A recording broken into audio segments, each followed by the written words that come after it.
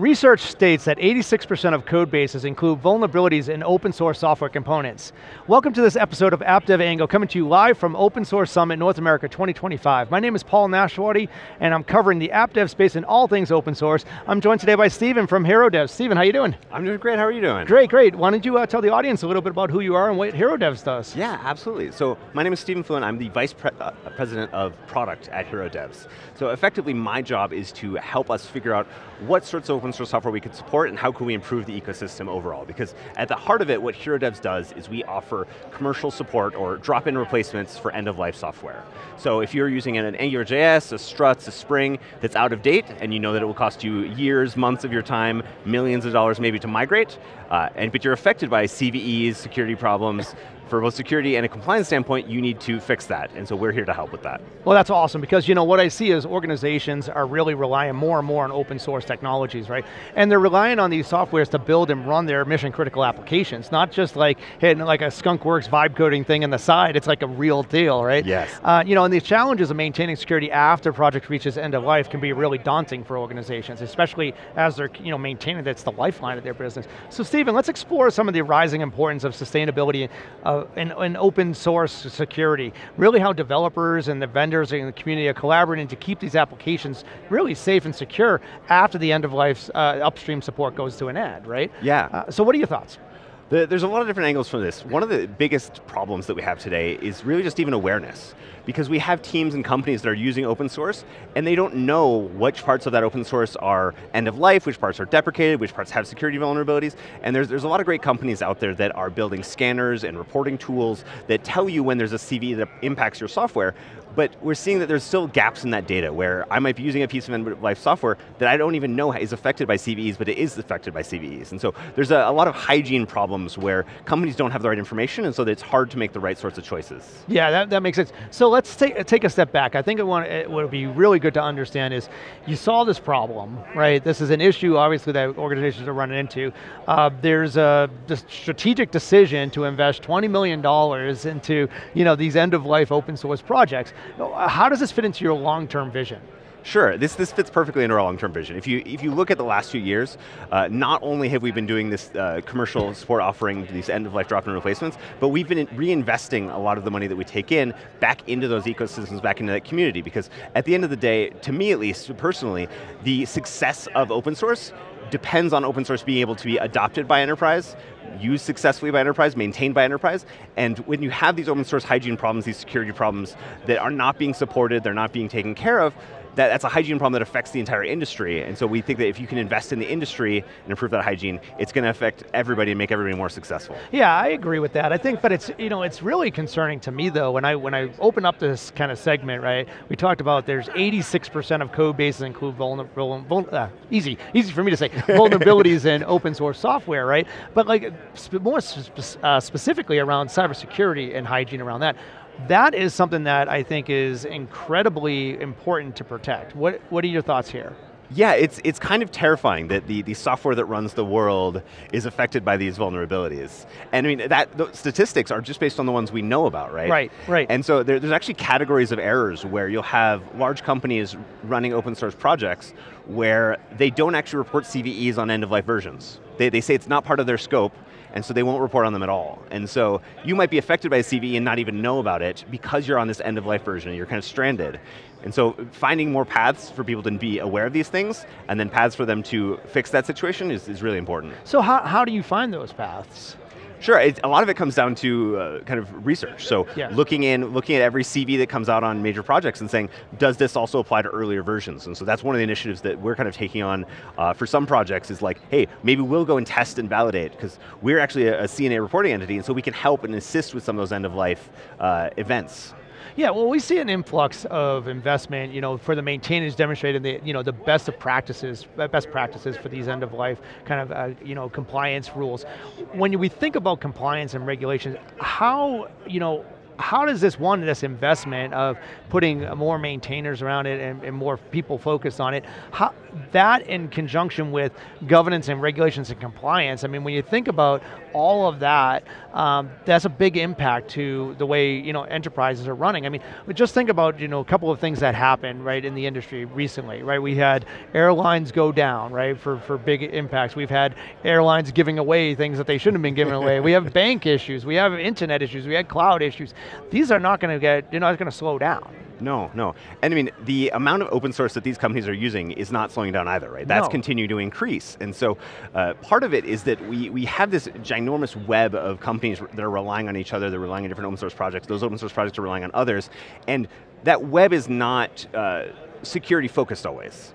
And so part of the, the reason for the existence of that fund is to bring some of that attention to the, the security piece that has to do with end of life. Because we feel like if you fix and improve any part of that life cycle, it's going to improve the entire ecosystem, that entire web gets healthier, and then people and companies and teams are able to make better choices. Yeah, I like that. I mean, what we're saying is, is it's uh, it's the good of the whole, right? Yes. It's like if you're if you're kind of helping every all ships rise to the rising tide type of thing, and that's a good approach. Um, so let's kind of segue that into a partner ecosystem. So what are you doing with partners, and how are partners working in with this? Sure, sure. We work with a, a bunch of different partners, right? The, the OpenJS Foundation, uh, a, a, a growing list, and we're always looking for more partners because we feel like by being parts of these ecosystems, by giving back to those ecosystems, uh, we're able to help drive these things. So one of the things, one of our team members, for example, uh, is working on uh, a new common lifecycle uh, standard for end of life. So imagine if every piece of open source software out there had a standardized set of metadata that said, what's deprecated, when did it end of life, when did support end, all those sorts of things that then tooling could consume and provide. And so like one of the, the uh, conversations that we have with these, these, all these great foundations and these teams that are building and organizing open source communities is how can we adopt those standards and how can we improve those standards to solve this problem from a, a, semantic standpoint, so tooling can get better as well. Yeah, I mean, only if life were that easy that all the metadata was just right there so we knew what to work with. I mean, I think that these partnerships, whether it's, you know, OpenJS Foundation or Drupal Association, right, I mean, those, those are areas that, you know, that applications are running on, right? And, and you know, I think when we look at it, um, the, is there a need for others to be part of this ecosystem? I, I definitely think so. I mean, from our standpoint, there, there's a, a big gap, right? People do not think enough about end of life open source software because the, the vision, so I, I, used to be at Google and this was kind of the, the vision, we wanted to stop thinking about all of our old software. We wanted to right. yeah. let it go, but when you do that, you're leaving behind major Fortune 500 companies and thousands of others that are stuck, that where they should and they know they want to migrate and there's a plan to migrate, but it's, it's years and millions of dollars away. And so what do they do in the short term? And so by bringing more data and bringing more community and ecosystem and insights into that end of life problem, we, we really think that things will continue to improve. Yeah, I mean, I agree with that. I think, but I also like when I think of organizations, both large and small. There's uh, there's kind of that you know that bell, right? You know, you get people that are on the, the the leading edge. You get people that are kind of on the the you know tail end of the curve, right? Um, there are organizations that are are struggling with just the incredibly rapid growth and cadence of just putting the tech stack out there, right? So like, this is a big challenge for a lot of organizations. What would you recommend to the audience here watching, like, you know, wherever they are in their journey, right? Because they could be yeah. just starting or they can be very, very mature and be like right at the leading edge of everything that's a, eh, you know, it's kind of daunting and kind of scary to some organizations. Sure, sure. I think one of the, the ways that I look at it is, it's not even the fault or the problem of the company we, we need to, one of the ways that you can approach this problem is approach it from the maintainer, from the open source side of things, because if we can improve that side of things, everything just gets automatically better for the companies that are relying on that.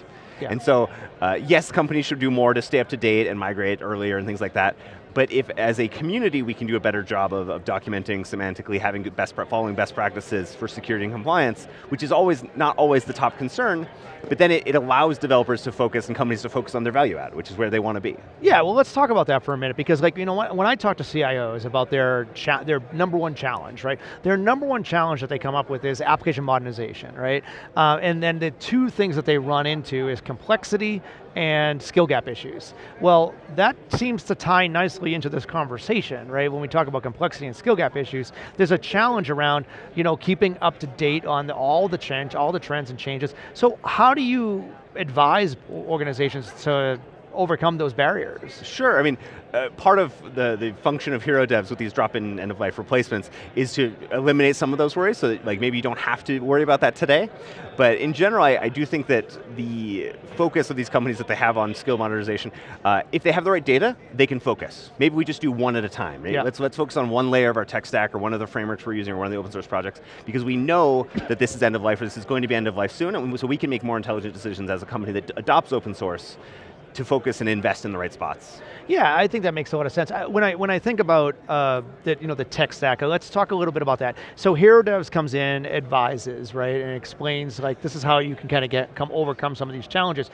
Let's talk about skill gap issues. I mean, uh, one of the things that I hear about often is, you know, we don't have the bench strength to do this. So, so my advice is often work with a service delivery partner that kind of helps you get to where you need to go, Sure, right? sure. And and sometimes that's a little bit uh, of a challenge because it's like, oh, it's going to cost too much, or I don't even have resources to, Sure. to, to kind of put that. How, how, do you overcome that? Sure, sure. I mean, the, the HeroDevs answer to that is that we, we give companies time. Okay, because we'll keep your old software secure and compliant, Right.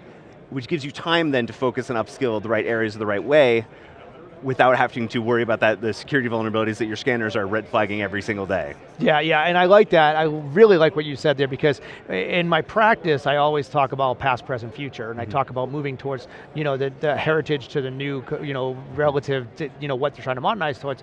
Uh, bridging the gap between old and new is the challenge. A lot of organizations are like, look, I'm not going to refactor because the juice isn't worth the squeeze, right? So it's like, why do it, right? Uh, so, so at the end of the day, they go, okay, we're going to keep our heritage environment, encapsulate it, and just build new uh, front-end applications to access it. The challenge with that is security vulnerabilities. Yeah, absolutely. Right, so can you talk a little bit about that? Sure. Uh, the security vulnerabilities like that you have from this focus, this kind of myopic focus on the new, uh, it's it's very sexy, right? People want to focus on the new and the latest and greatest. Uh, almost to the, the detriment of their, their, the rest of their company. And so what it ends up creating is these forcing moments where it's like, okay, now there's a CVE out, now I have to do something about it. And so uh, I think one of the, the longer things that we would like to help companies do is uh, have more of a, uh, an automated solution to that where, hey, Yeah. a- an end of life piece of software that we had goes like now is hit by a brand new CVE, maybe that can automatically be covered. And you know it, yeah, so you have actionable insights, of which, which makes a lot of sense. So, all right, so we're here a year from now, right? And we're talking at the next open source summit, right? Absolutely. And we're talking about, you know, we, hey, we, we a year ago we were talking about all these things. What do you want to see a year from now with, you know, with this market and where it's going? Sure, I, I would love to see a little bit more focus from all the organizers and maintainers on the idea of end of life and taking care of all the users that they normally leave behind. I think if that can be part of a bigger part of the conversation, so that these Fortune 500 companies don't have these major security industry incidents, I think that would be a, a really great place to be in. Yeah, that's really, really cool. I, I appreciate your time today. This has really been great. What, last parting words to the audience. What would you want the audience to know about, you know, this in this space? Sure, I think uh, just focus on the users, uh, including the ones that, that we often leave behind, uh, and Yeah. uh, let's, let's keep using open source to the, the maximum potential. Awesome, very cool. Thank you for your time, your insights, it's been really great. And I want to thank you for watching our session today. This has really been great. We appreciate you being part of the app dev angle in the, in the community here. That wraps up this episode, but we'll be back next Wednesday with another conversation to dive into tools, trends, and talent shaping the future of application development. Whether you're deploying at the edge, building an AI, or modernize your cloud stack, we've got you covered. So be sure to follow us if you have any thoughts, questions, or just want to connect. You can always reach me at paulan at siliconangle.com. Until next time, stay curious and stay building.